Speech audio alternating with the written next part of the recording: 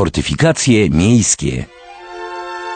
Patrz na Tarnów, na gniazdo Tarnowskich. Jakie bogactwo umieszczan, jak oprawne jest miasto wałami, murem i strzelbą ku obronie – pisał w XVI wieku Stanisław Orzechowski.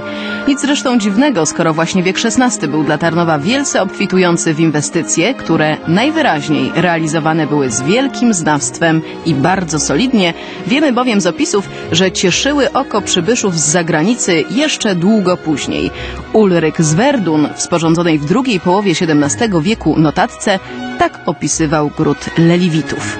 Tarnów jest zgrabnym miastem, ma wały z ziemi, u nich u góry naokoło mur z bastionami i silne wieże na skrzydłach wraz z suchą fosą naokoło. Czy już wiesz, jakim szlakiem podążymy? Trudno byłoby się nie domyślić, tak precyzyjnie dobrałaś cytaty. Zresztą stoimy przed fragmentem XVI-wiecznych fortyfikacji. W sumie te fragmenty zachowały się w różnych częściach Tarnowa, mają długość kilkudziesięciu metrów, a przecież pierwotnie były długie na ponad 900 metrów. Tak, a gdyby policzyć podwójne mury od strony północnej i północno-zachodniej, to wyszłoby grubo ponad kilometr. Skądinąd bardzo przemyślni byli budowniczowie, bo zauważ, zabezpieczono miasto podwójnym murem wewnętrznym i zewnętrznym od strony gdzie teren był płaski i łatwo dostępny, a jeden tylko mur okalał miasto od strony południowej, gdzie dostępu do grodu broniło dodatkowo strome zbocze. Widać z tego, że i budowniczowie, i inwestor mieli głowę na karku, co zaowocowało między innymi tym, że kiedy budowa została ukończona, Tarnów był jednym z najlepiej ufortyfikowanych miast Polski Południowej, a same fortyfikacje były jednymi z najnowocześniejszych. No z pewnością tak i zapewne zasługa w tym przede wszystkim samego inwestora. Reparację i rozbudowę murów na początku XVI wieku zlecił nie kto inny jak wybitny strateg i mąż stanu, autor najwybitniejszego staropolskiego dzieła piśmiennictwa wojskowego Rada Sprawy Wojennej, hetman Jan Tarnowski. Podówczas właściciel Tarnowa. Fortyfikację budowano do 1544 roku z przerwami, a ponieważ inwestycja była rzeczywiście ogromna i nie udźwignęliby jej sami mieszczanie, znaczną część sfinansowania finansował ze swej prywatnej kasy właśnie hetman Tarnowski. Ale już wydatki na proch i saletrę pochodziły z miejskiej kasy. Widzimy tylko fragment muru, a ja chcę sobie wyobrazić, jak wyglądał w całości. Myślę, że może nam w tym pomóc historyk Łukasz Winczura. Jak każde przyzwoite miasto, takoż i nasz Tarnów miał godne i solidne obwarowania. Fragmenty murów, jakie po dziś dzień się ostały, pochodzą z XVI stulecia. W 1513 roku Jan Amor Tarnowski, wojewoda krakowski, rozpoczął przebudowę starych murów miejskich, które pamiętały wiek XIV, czyli epokę założyciela Tarnowa, Specymira z Malsztyna. O zachowanych murach miejskich wiemy, że w najwyższych miejscach miały około 6 metrów. Cegłę, kamienie, wapno i piasek sprowadzano ze Skrzyszowa, Łękawki, Pilzna, Biecza, a nawet Jarosławia czy Krosna. Z zachowanych ksiąg miejskich poznajemy budowniczych tarnowskich murów, mało znanych rzemieślników. To był Hanusz Niemiec, Marcin Zbiecza, Bartłomiej czy Tomasz. Nie byli to jacyś wybitni fortyfikatorzy, bo przebudowa murów ślimaczyła się aż do 1544 roku, szarpiąc bezlitośnie kasę miejską i denerwując mocno właścicieli miasta. Tym niemniej mur był bardzo solidny, wzbogacony dziesięcioma basztami bardzo funkcjonalną ozdobą murów, którymi szczelnie otoczony był Tarnów, były baszty. Pół baszta, dwie bramy i liczne furty. Niektóre zachowane są dobrze, z niektórych, na przykład z bramy pilzneńskiej, pozostała do dziś tylko nazwa, a z niektórych nawet i to nie zostało, jak w przypadku bramy krakowskiej. Ale wydaje mi się, że istnienie owych murów, bram, furt uzmysławia nam bardzo ważny fakt. Miasto kilka wieków temu było zupełnie innym organizmem niż dzisiaj. Była to, można powiedzieć, sporych rozmiarów posesja z solidnym, w cudzysłowie, ogrodzeniem i pilnie strzeżonymi wejściami.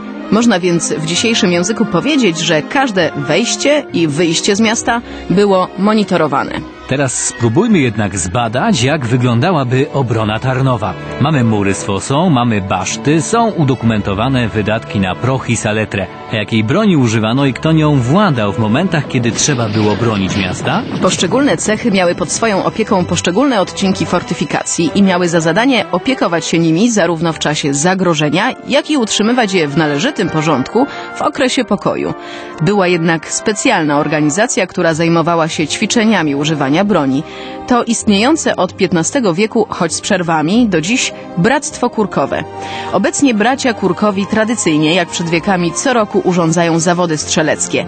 Najlepszy wybrany zostaje królem. Przed wiekami król zwalniany był z podatków. Ta tradycja jednak do dziś nie przetrwała. Bracia Kurkowi dzisiaj pełnią funkcje reprezentacyjne, kultywują i przekazują tradycje. Kiedyś bronili miasta przed najeźdźcą, mówi Józef Bosowski, pierwszy król kurkowy po odnowieniu bractwa.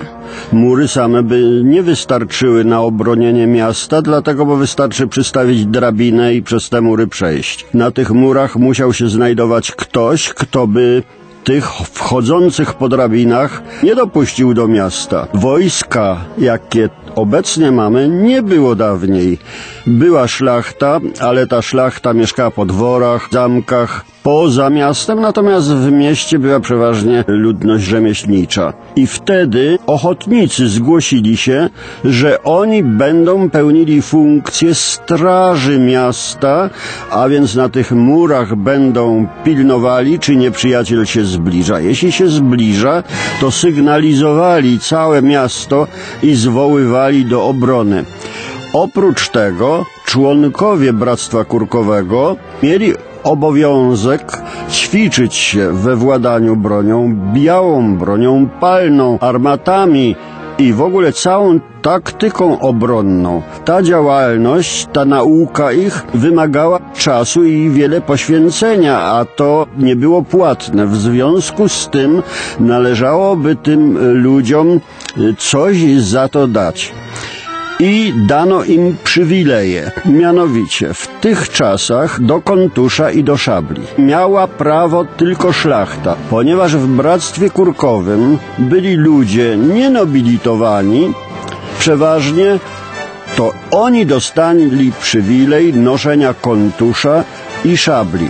Oni dostali przywilej występowania w sądach grodzkich. Była to jak gdyby pewna forma nobilitacji. Skoro mówimy o obronie miasta przed napaścią z zewnątrz, to przyjrzyjmy się bliżej obiektowi, który na naszej mapce oznaczony jest numerem 8. Półbaszta została wybudowana właśnie podczas prac zleconych przez hetmana Jana Tarnowskiego. Pochodzi z pierwszej połowy XVI wieku. Ciekawa jest jej otwarta forma, jak mówi historyk Łukasz Winczura, o żadnym pośpiechu czy niedoróbkach nie może być mowy. Obiekt ten świadczy o tym, że tarnowskie fortyfikacje budowane były zgodnie z duchem czasu i brano pod uwagę wszelkie aspekty. Rzeczywiście jest to wyjątkowa budowla, tak zwana Basteja. Ona jest otwarta po to, aby w trakcie zaciekłej bitwy artylerzyści nie podusili się w dymie z działu. Proszę zwrócić uwagę na otwory, na ich kształt. To świadczy o tym, jaka broń była używana w walce, a była to już wtedy w XVI wieku broń palna. W ogóle architektura obronna była oczkiem w głowie Jana Hetmana Tarnowskiego. Tarnowski jako świetny strateg i zaprawiony w bojach dowódca podpatrywał architektoniczne nowinki we Włoszech. Do Italii co prawda Hetman jeździł na kurację, ale w okolicach Padwy, gdzie zażywał kąpieli w ciepłych źródłach, mieszkał także książę Ercol II d'Este, książę ferraryjski, także mąż szczególnie rozmiłowany w strategii i w wojskowości. Tam Tarnowski kopiował rysunki, patrzył na architekturę i przeszczepiał te doświadczenia na grunt polski. Dowodem tego i nasza tarnowska Basteja, która była zaporą nie do przebycia dla niepokojących Tarnowem najeźdźców. Solidna, dobrze ufortyfikowana, obszerna, ale nie tylko Tarnów nosi ślady zamiłowań architektury wojskowej Tarnowskiego. Trzeba powiedzieć o Beluardzie w Rożnowie, wielkim i unikatowym przedsięwzięciu architektury obronnej.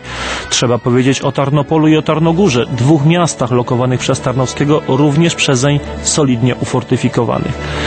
I na deser pamiątka literacka zamiłowań architektonicznych Tarnowskiego. Powstał taki traktat Oprawianie zamków albo miast, nad którym pracę Hetman rozpoczął w 1557. Niestety dzieła nie dokończył, gdyż zmarł 4 lata później. Wtedy także zakończył się Złoty wiek Tarnowa. Złoty wiek także w dziejach architektury obronnej. Dodajmy jeszcze na koniec, że Jan Tarnowski wydał specjalny dokument zatytułowany Nauka jegomości około obrony miasta Tarnowa. Była to swego rodzaju instrukcja, jak działać w czasie napadu nieprzyjaciela. Hetman ustalił tam, co następuje. Gdzieby potrzeba Boże uchowaj przeszła, tedy ludzi ze wsi podzielić na troje, jedno, co by się godzili ku obronie na zamek, drugą część do miasta, a ci, co by mniej godni byli, jako tchórze, etc., wtedy w lasy, gdzieby się najbezpieczniej zdał z dobytkiem iść. Hetman nie zapomniał też o sprawach natury estetycznej, precyzyjnie określając barwę ubiorów i kroje proporcjów. Na nic się jednak zdały dokładne wytyczne, bo mury miejskie miały stosunkowo krótki żywot. Jeszcze w XVII wieku zachwycał się nimi Ulryk z Verdum, ale już w XVIII zostały z nich szczątki. Te fragmenty, które dzisiaj oglądamy, to w większości rekonstrukcja, której dokonali konserwatorzy w latach 60. minionego stulecia. Jak wyglądały naprawdę, możemy jedynie wyobrazić sobie, spacerując ulicami Wałową, Szeroką, Bernardyńską i wreszcie Targową. Mniej więcej tak właśnie wyglądał pierścień murów wokół Tarnowa. Ale teraz zapraszamy w kierunku Placu Rybnego i Bimy, oznaczonej na naszej mapce numerem 6. Tam będzie nasz kolejny przystanek.